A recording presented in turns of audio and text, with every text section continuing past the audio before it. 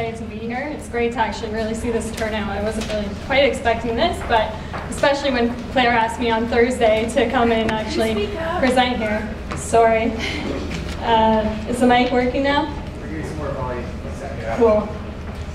Asking you will receive. Get a tiny guy. Fabulous. Shout your opinions, Misty. I'm not a loud talker to begin with, so bear with me.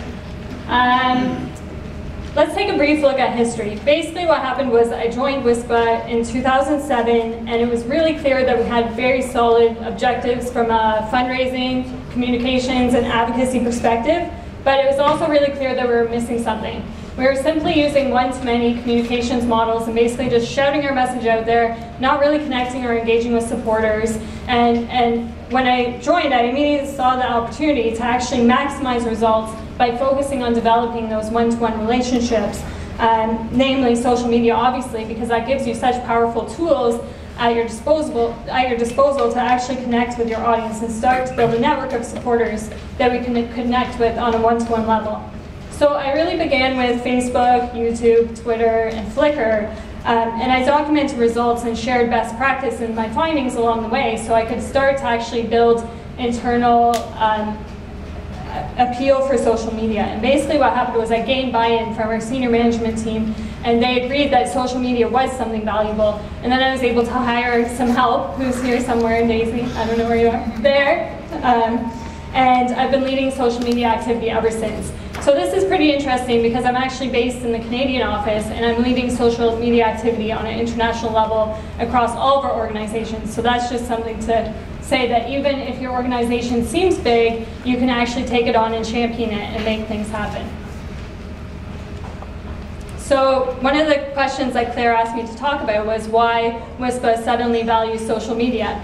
Well, not only does social media help us raise awareness, obviously, fundraise, recruit advocates, and engage our supporters by communicating with them in real-time fashion, but social media also offers a very unique platform where supporters can actually engage with each other and basically self-organize for us and really help us achieve real change for animals by doing so. And this was definitely true for our Haiti relief efforts. Yes, we were in Haiti too, and we were there helping the animals on the ground, and we're still there.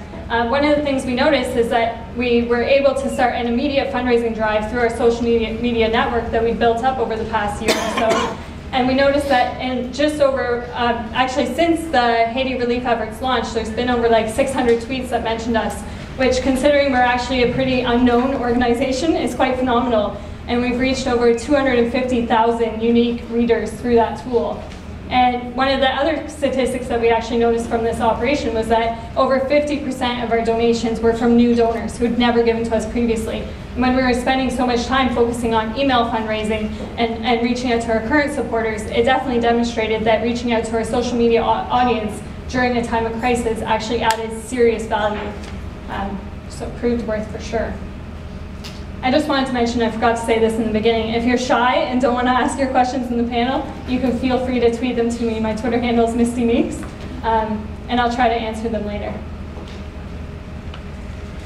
I personally think integration is key and, get, and is basically a key requirement in getting the most out of social media. And it's not even just integrating with your marketing channels, but it starts at the planning phase. Um, I actually am, am seriously involved in fundraising, communications, and program planning. And that gives me the opportunity to have a real bird's eye view of everybody's programs and, and, objectives. So I can actually see what they're planning and then identify specific touch points where digital, digital integration could benefit that. And that's really, really helpful from our organization's standpoint. Um, while we often go off and carry, off, carry out our work independently, we, we are a tight-knit group and we can go back to each other for continual updates.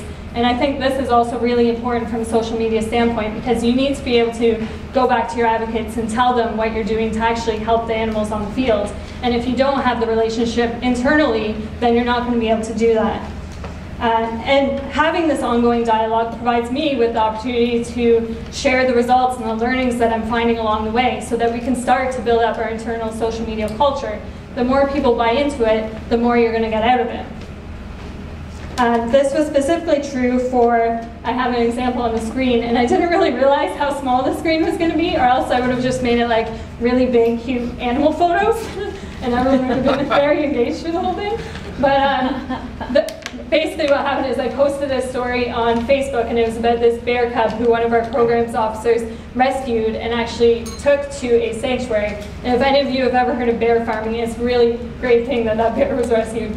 But people were really engaged by the story and it generated like a significant spike in traffic to our website and it was definitely one of the most popular social media stories we ever had. So I fed that information back to the actual program manager who was mentioned in the story, who I never really talked with previously, and now he's incorporating that information into his actual strategy so he knows when he goes out on the field what kind of information our supporters would want to hear about. And without having that internal integration, you're not going to be able to actually um, connect those dots basically, which are integral in social media development, I think. Um, um,